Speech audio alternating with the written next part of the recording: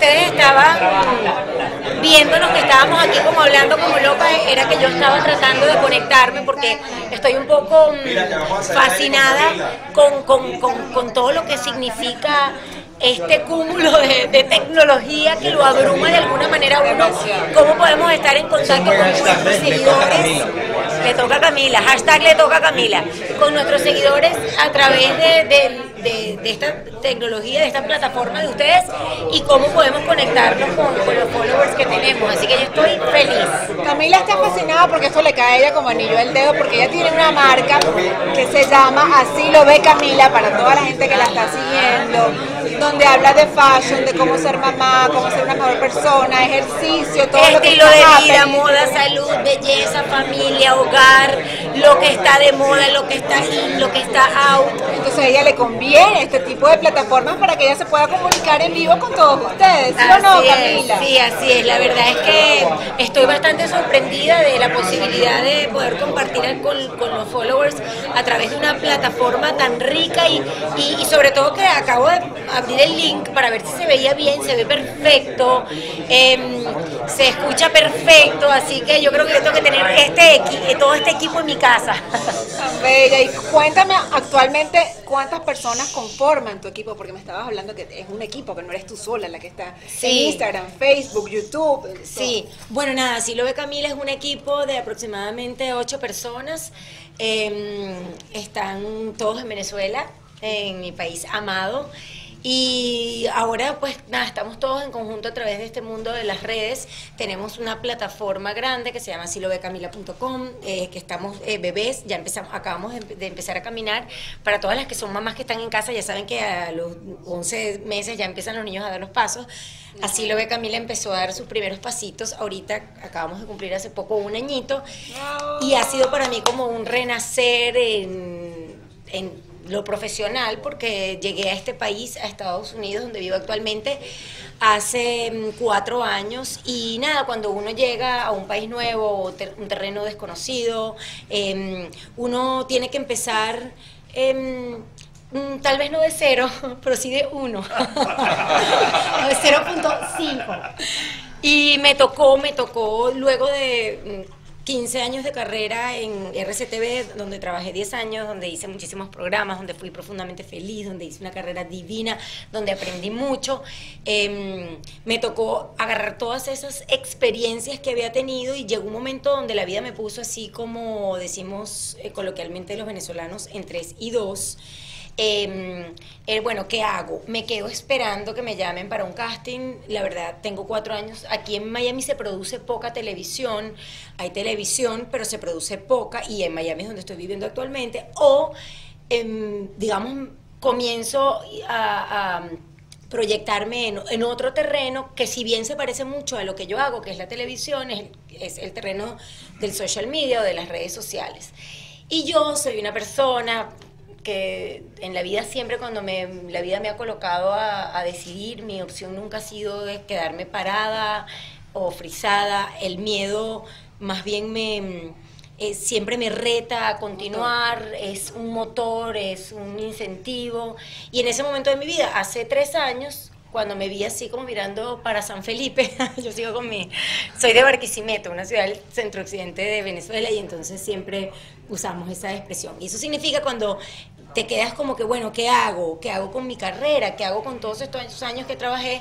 La, eh, la conclusión fue pues comenzar, como decía Elía ahorita hace poco, co- que no se quiso quedar en, en todo esto, lo que es la tecnología, las redes sociales, y fue pues enterarme un poco y entrar en este mundo. Y de, de esa manera hace tres años comencé con este proyecto. El proyecto nació hace, desde hace tres años lo estamos cocinando.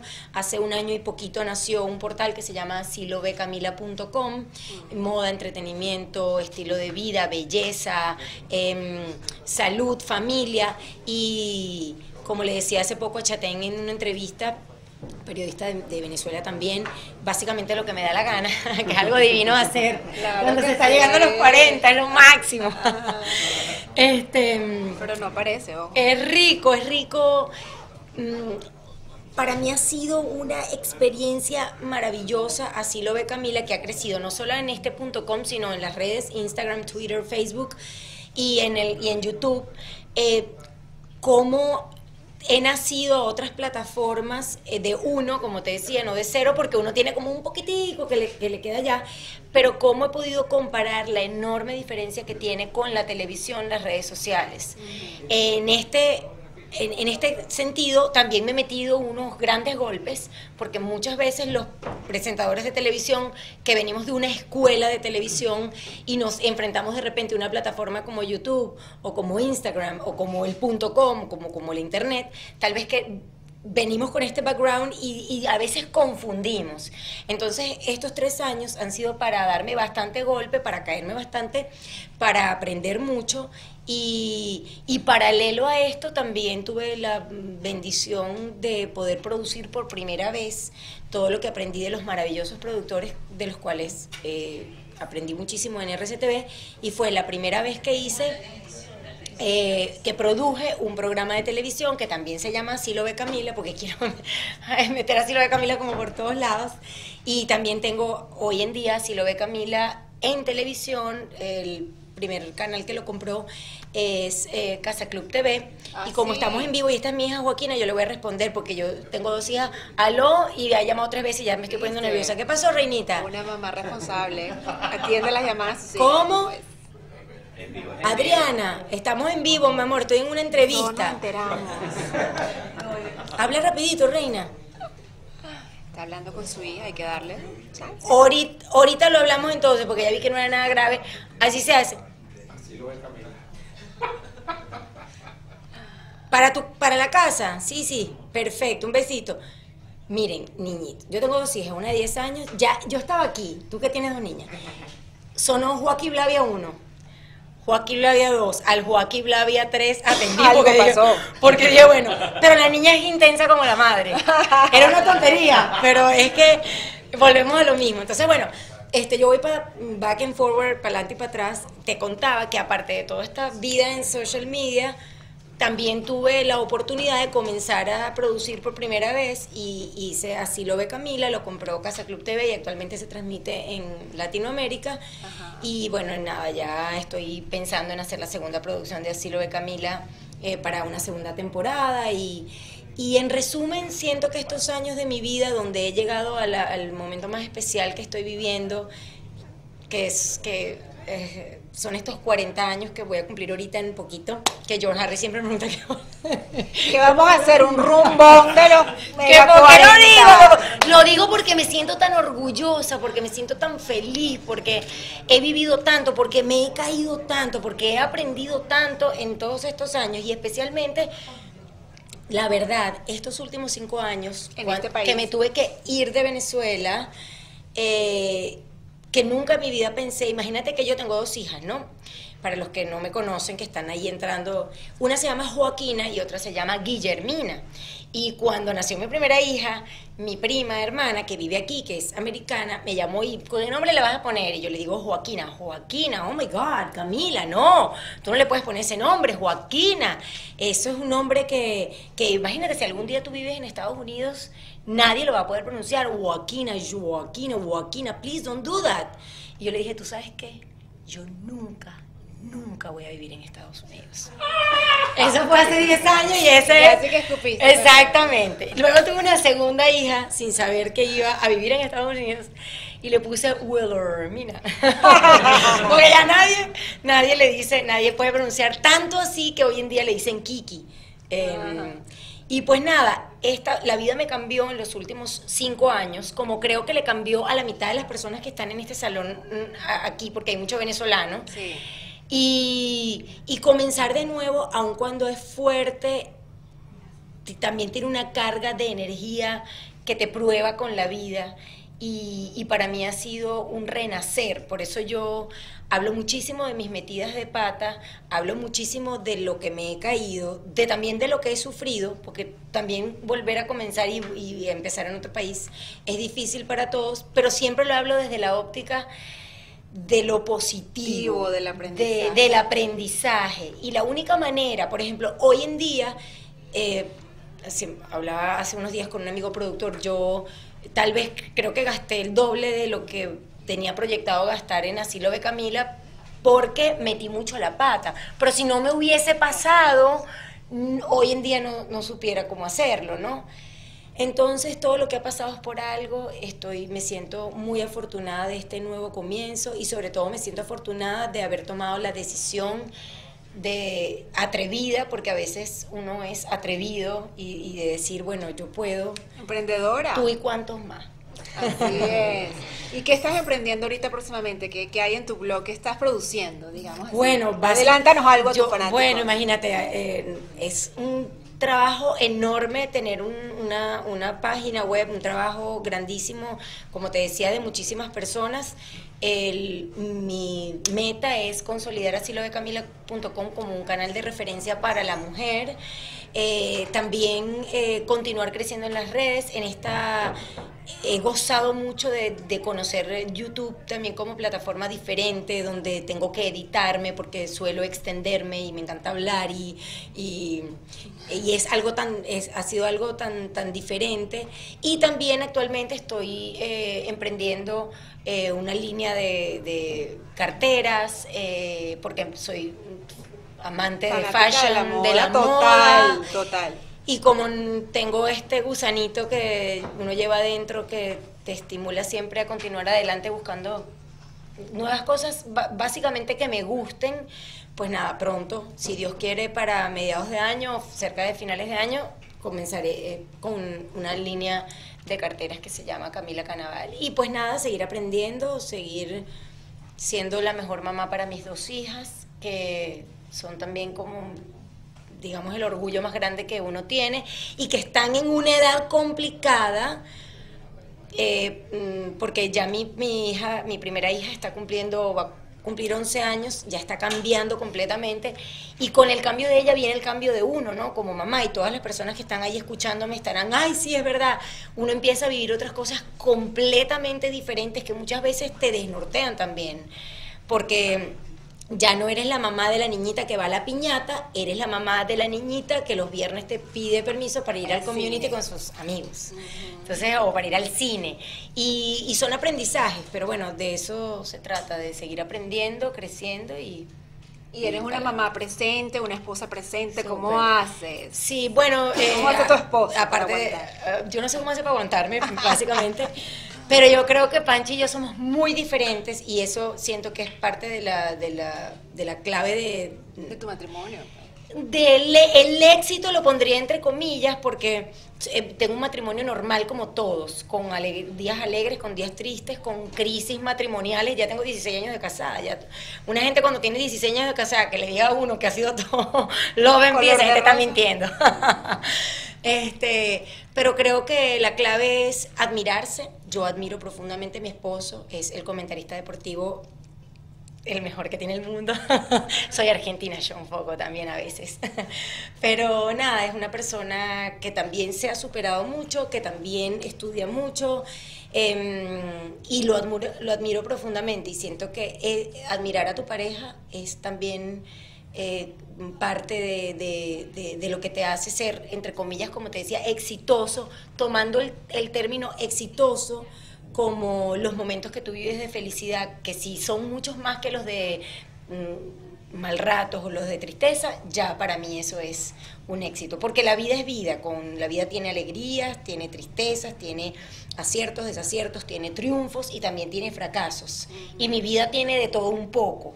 Em, nacimientos, pérdidas. Yo acabo de perder a mi mamá hace siete meses, ah, perdí a mi hermana hace 15 años y fue una de las tragedias más grandes del mundo, pero siempre me gusta, me gusta hablarlo, me gusta compartirlo, me gusta, eh, a través de las redes lo he usado muchísimo, he compartido mucho estas experiencias de vida para motivar a los demás a continuar con, con la vida que tiene de todo un poco. Qué bueno que seas un canal de luz como estábamos hablando con él y de exponer sus sentimientos porque ustedes son seres humanos de verdad y eso es lo que hace que nosotros como público audiencia conectemos con ustedes. Y yo lo he tomado muy, a ver, he tomado esa mm, responsabilidad, la, la he tomado realmente en serio. Y como decía Eli, también me sentía súper eh, identificada con lo que decía Eli, porque em, siento que nosotros tenemos una gran responsabilidad. Lo que decimos, de hecho muchas veces somos motivadores, somos personas que capaces de llegar a millones de otras personas. Y cuando yo hablo de las tragedias que he vivido, de las tristezas, de las pérdidas que he tenido en mi vida, no lo hablo desde lo, desde lo oscuro, ni desde lo amarillista, muchísimo menos. Lo hablo desde la luz, desde mm, el aprendizaje, desde el crecimiento. Y siento que nosotros tenemos una gran responsabilidad. Mm. Por eso solamente hago campañas que inspiren luz, por eso solamente, por lo menos hoy en día que en Venezuela estamos viviendo y para nadie es un secreto, un momento tan difícil y tan oscuro, siempre proyecto lo que es positivo, eh, sin esconder y sin negar las realidades de un país que está pasando por una crisis, ¿no? Pero soy muy responsable con, con lo que, con lo que quiero proyectar, porque siento que con eso somos capaces de mover corazones, pero también de mover intenciones, de modelar conducta. Entonces los comunicadores y de generar conciencia, y los, los, comunicadores tenemos esa gran responsabilidad, y yo la uso eh, con mucha fuerza y, con, y con muchas ganas de ayudar. ¿No? Y por eso a veces comparto tal vez un poquito más de lo que se podría compartir en un portal o eso no lo hago tanto en asilobecamila.com, lo hago más en mis redes sociales, ¿no? Bueno, y por último, Camila, porque yo sí quiero hablar un poquito de banalidad y física. Dale, dale. esta niña se ve espectacular, que 40 ni que 40. Danos un tip a todas esas fanáticas como yo que se estamos viendo. Pero tú preguntas ¿Cómo haces, para yo no. ¿Cómo haces para tener un cutis tan bello, un cuerpo tan delgadito? Tips de belleza. Comparte, comparte, Camila. Bueno, eh, eh, ajá, eh, eh, eh jamás me he puesto Botox Mentira, mira, yo me pongo votos desde los 30 años, un poquitico, aquí. Desde los 30. Es verdad, no, yo siempre lo comparto. Desde los 30, yo una vez, yo, yo, una, yo me hice cuando, eh, hace años, yo me, me cambié, yo me operé aquí las boobies entonces después me la fui a cambiar, y cuando me la fui a cambiar, me las operé en Barquisimeto hace años, tenía 20 años, ¿no? Y luego en Caracas, en el medio de RCTV, me la fui a cambiar, tenía 30 años. Yo estoy echando estas miserias al aire aquí. Buenísimo, de eso se trata, de eso se trata, niña. Entonces, yo fui, y yo tenía 30 años, y el doctor Edmundo Enríquez, en Caracas, me dijo, yo te voy a poner votos. Ay, doctor, ¿cómo usted me va a poner votos? Yo estoy, aparte de verdad estaba bien a los 30, no, porque yo quiero que tú llegues a los 40 como estás ahorita a los 30. Y mira, y, no sé y entonces me puse un poquito aquí y un poquito aquí, pero fíjate que yo me muevo, si ustedes me ven, miren, yo me arrugo. Usted no se deje poner Botox que no se arruga, porque se va a ver horrenda. Entonces yo me pongo 24 unidades de Botox aquí repartiditas dos veces por año. Dos veces al año. Cada seis meses. Cada seis meses. Em, eso es para, la carita, eso es lo que me hago en la cara. Después me hago láser, tomo muchísima agua, por lo menos dos litros al día, como saludable. Eh, mm, mm, yo me levanto y me lavo la cara, me hago toda la rutina de belleza, muchísima crema hidratante, las cremas más baratas uso, las cremas hipoalergénicas. He pasado por todas, pero hoy en día uso las más baratas, las hipoalergénicas. Tengo una, doctora maravillosa aquí en, Miami. Em, que me ayuda con esas cosas, pero sí, como te dije, láser, eh, radiofrecuencia, bueno, me hago todas esas cosas. Spa. Hidratación, alimentación, muchísima agua y como les dije el Botox. Pero el Botox siempre digo, eso es algo muy personal. Si usted le tiene muchísimo miedo, ni se lo ponga. Eh, yo le tenía más miedo a las arrugas, entonces me lo puse. Eh, y nada, y pues nada, y, y hago pilates, hago ejercicio, como saludable y también me operé la panza. Ah, sí, se hizo una lipo, está bien. Me hice una lipo y no la recomiendo. No. No. Me la hice por boba, creo yo, porque estaba flaca. Pero, mm, nada, siempre lo comparto. No la recomiendo no porque me ha ido mal, me fue bien, pero siento que es muy doloroso, es algo que ay, es un poquito traumático. Eh, pero llevo una vida saludable. ¿Y comes cada tres horas o comes? Como cada tres horas, sí, como pero normal, o sea, y como, como Nutella un día sí, un día no. Eh, mucho vegetal, mucha proteína, saludable, muchísima agua. ¿Tomas alcohol? Eh, social. Y fumé hasta, hasta los 20, 25 años, una cosa así. Fumaba poquito y un día dije, ¿para qué fumo si esto es una porquería y entonces dejé de fumar. Y nada, llevo una vida saludable y les conté todo lo que me he hecho, se los conté. De ahí no me he hecho más nada. Mira, Camila, ¿alguna película o libro que hayas leído recientemente o que hayas visto recientemente que quisieras recomendar? Ay, no, recientemente. ¿Con qué tiempo? Ay, Dios. No, no, no, no, no, pero sí es que yo. George Harry, ayúdame. La que acabo de ver ahorita hace poquito. Película. Sí. No, Fifty Shades of Grey. Fifty Shades of No, Grey. no, no, tú sabes que esa película ni, ni me leí el libro, ni la Ah, he no, visto. Qué raro, no. porque eso es un boom que todo el mundo se ha No. leído todos los tres. Panch- mi esposo me, la- me regaló el libro, pero no me lo leí. Dicen que no fue muy buena la película. Y de verdad que no, no. Este, ay Dios mío. Ahorita, ahorita en lo que estés con George me voy a acordar de la película que acabo de ver porque de verdad que la Y no quiero las recomendar cuentas, y no olvida el porque. George es el siguiente y está aquí también. Y George Harry nos va a hacer reír. Muchísimas gracias a todos ustedes por acompañarme, por, por estar allí y por escuchar todas mis intimidades. Se las di todas. Gracias a ti, Les di todas las intimidades, no se pueden quejar. Claro que sí, esperamos tenerte muy pronto en vivo con tu programa porque yo sí quiero que estos venezolanos tan valiosos tengan aquí en los Estados Unidos su nicho, con todos los hispanos que los podamos ver y podamos interactuar con ustedes. Amén. Gracias, un besito. Gracias. Gracias a todos ustedes por seguirme en arroba Camila Canaval, en arroba así lo ve Camila y visiten mi página web así lo ve Camila.com. Más nada. Que viva-